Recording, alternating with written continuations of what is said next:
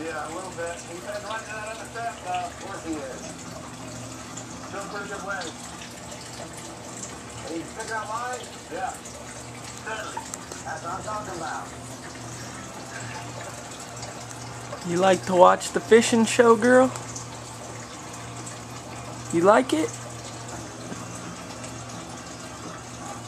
I think you took out a whole bunch real quick. That's fine. We got it back now. Yeah, we're almost on top of it. You know, so many different ways to catch a carpet. Yeah, there really are. This is one of our first times ever using floats on these guys. It's, it's a lot different than casting a fly at them or casting a bait at them. It's a lot different. But you know what?